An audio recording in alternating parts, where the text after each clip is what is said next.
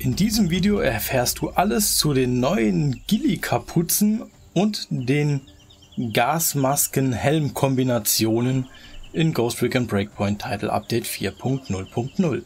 Los geht's! Bei mir dreht sich übrigens alles um Ghost Recon. Wenn du da Bock drauf hast, lass mir gerne ein Abo da und aktiviere die Glocke, damit du keines meiner Videos verpasst. Beginnen wir mit den Gasmasken, die jetzt kompatibel zu Helmen sind. Das ist zum einen die Avon M50 Gasmaske. Die gibt es nur im Store für echt, also im Echtgeld-Shop zu kaufen, für, wenn du sie einzeln kaufst, 200 Ghost Coins. Die sieht dann so aus, man kann auch die Farbe anpassen. Ja, also geht ganz ohne Probleme. Im Spiel sieht das Ganze dann so aus ist sehr schick, wenn du mich fragst. Ist auch so von den dreien, die kompatibel sind, meine liebste. Das kann ich jetzt schon mal sagen, vom Aussehen her. Ja, die andere, die nächste, das ist die neue Bulldog Gasmaske. Die gibt es kostenlos. Und die ist, wie gesagt, die ist auch neu. Und ja, sieht meiner Meinung nach halt nur ein bisschen, ja, gewöhnungsbedürftig aus. Ich finde sie nicht so geil. Aber das muss, natürlich, das muss natürlich jeder selbst wissen. Mir persönlich gefällt sie nicht ganz so gut. Und zum Schluss gibt es noch die Panorama-Gasmaske. Die ist ebenfalls neu und die kannst du bei Maria im Shop für ein paar Scale-Credits kaufen. Das ist... Wo ist sie? Da ist sie. Und da kann natürlich auch die Farbe angepasst werden, genauso wie bei der anderen eben. Die geht eigentlich auch noch ganz gut. Aber meins ist sie, ist sie nicht. Meine liebste ist, wie gesagt, die, ja, die diesem Echtgeld-Shop für 200 äh, Ghost Coins gibt.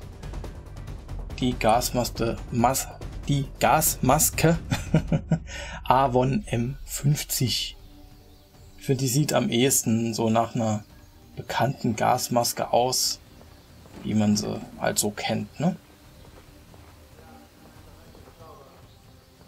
Kommen wir zu den Gilly-Kapuzen. Von denen gibt es insgesamt vier. Und zwar die Arcturus Warrior, die gibt es nur im Shop. Das ist die, die ich hier gerade ausgerüstet habe. Vom Arcturus Warrior gibt es auch das Oberteil und die Hose nur im Shop, also im Echtgeld-Shop. Ist ein bisschen schade, aber ich meine, irgendwie müssen die armen Ubisoftler ja auch Geld verdienen. Und ich finde, der sieht eigentlich echt schick aus. Sieht ein bisschen aus wie, wie ein Yeti von hinten. Finde ich ganz nice. Dann gibt es noch die Baumblätter-Gilly-Kapuze. Die findest du in taktischen Depots. Das ist quasi das eine Stück, das dem Pfadfinder noch gefehlt hat. Denn auch die Baumblätterhose und das Baumblätteroberteil gab es ja schon in den taktischen Depots. Als nächstes gibt es noch die Cry Compact Gilly Kapuze. Die ist passend zum Sturmsoldaten-Gilly-Oberteil. Die gibt es ganz einfach bei Maria in R1 zu kaufen für ein paar Scale-Credits.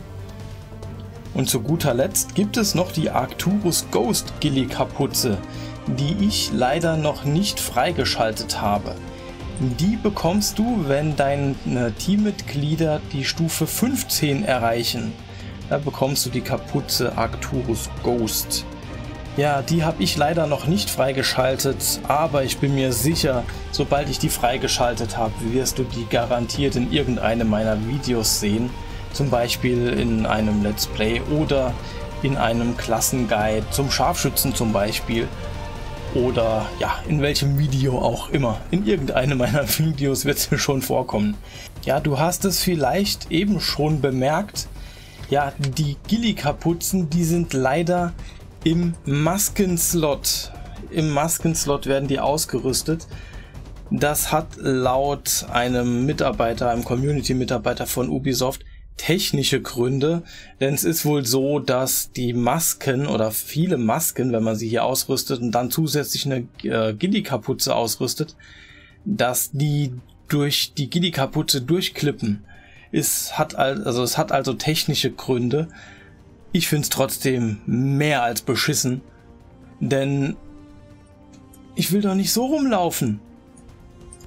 Ja, auch mit, mit, dem, mit dem Arcturus Warrior. Wo habe ich ihn denn? Habe ich ihn überschrieben? Nee, da ist er. Ich will doch da noch eine anständige Maske anziehen.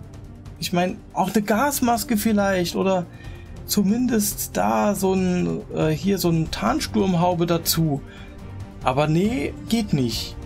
Und es fällt dann im Grunde, fallen da sogar zwei Slots weg. Denn egal was du hier im Kopfschutz-Slot ausgewählt hast, Ganz egal was, es wird dann nicht mehr angezeigt, sobald du eine GD-Kapuze anhast. Das ist echt beschissen, also echt beschissen gelöst. Und ich denke, das zeigt auch einmal mehr, dass Ubisoft da keine großen Ressourcen mehr reinsteckt, denn ansonsten hätten sie es bestimmt hingekriegt, dass die GD-Kapuzen im Kopfschutzslot sind, wie das eigentlich sein sollte, und nicht hier im Maskenslot. Dann hätten die bestimmt irgendwas hingekriegt, dass die Dinger da nicht durchklippen. Und was auch ein bisschen davon zeugt, dass Ubisoft da keine großen Ressourcen mehr in Breakpoint reinsteckt, ist die Tatsache, dass die Teammitglieder-Herausforderungen allesamt echt ziemlich low sind, also kaum Aufwand drin steckt und auch kaum Aufwand betrieben werden muss, um sie zu lösen. Und dass es entgegen dem englischen Text zu diesem Update, also der Text, der letzte Woche veröffentlicht wurde am Dienstag, keine Teammitglieder Missionen gibt. Im englischen Ankündigungstext des Updates war die Rede von Teammate Missions, also Teamkameraden Missionen und Teammate Challenges, also Teamkamerad oder Teammitglieder Herausforderungen. Ja, die Teammitglieder Herausforderungen, die haben wir. In der deutschen Übersetzung des Textes die mir zum Zeitpunkt meines Videos noch nicht vorlag, so viel zu meiner Verteidigung, ist nur noch die Rede von Teammitglieder Herausforderungen, also keine Rede mehr von Teammitglieder Missionen. Ja, es ist wie es ist. Mehr werden wir nicht bekommen. Wir bekommen noch ein Update im Herbst und dann war's das. Und ja, ich setze da auch keine großen Hoffnungen mehr rein, dass das irgendwie besonders groß wird, aber ich schweife mal wieder ab. Ja, das Video ist eigentlich zu Ende liken, abonnieren, Glocke aktivieren. Ciao.